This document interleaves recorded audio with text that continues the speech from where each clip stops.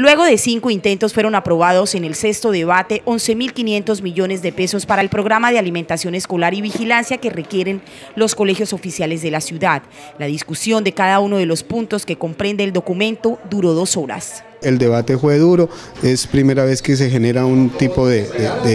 procesos como este, pero lo importante es que lo entendieron, que supieron cómo afrontar la responsabilidad y sobre todo que ven el bienestar de los niños a través de la alimentación escolar. El Consejo Municipal, luego de la aprobación del Acuerdo 001, también expuso sus razones por las cuales se había en repetidas oportunidades aplazado el debate.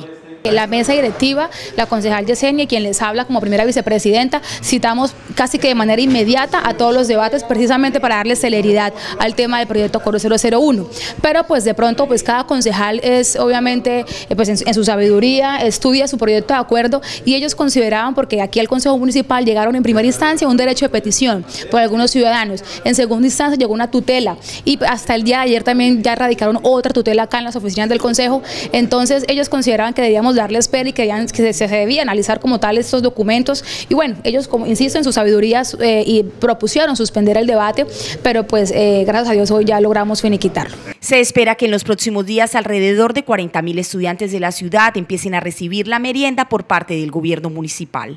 Esperamos que ya con esto, ya eh, y dándole gracias al Consejo Municipal por el aporte que hacen también al bienestar de los niños y de las instituciones educativas, podamos esta semana ya arrancar con alimentación escolar en la medida de lo posible, lo antes posible podemos que lo podamos realizar y sobre todo arrancar con la vigilancia de las instituciones educativas. Con estos recursos, la vigilancia en los planteles oficiales también estará garantizada por un año.